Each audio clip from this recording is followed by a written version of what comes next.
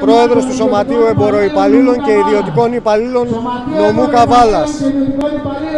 Σήμερα στην Καβάλα, αλλά και σε όλη τη χώρα, οι εργαζόμενοι μαζί με τους βιοπαλαιστές επαγγελματίες και αγρότες διαδηλώνουμε ενάντια στην ακρίβεια, ενάντια στην ακρίβεια του ρεύματος, της βεζίνης, της θέρμανσης.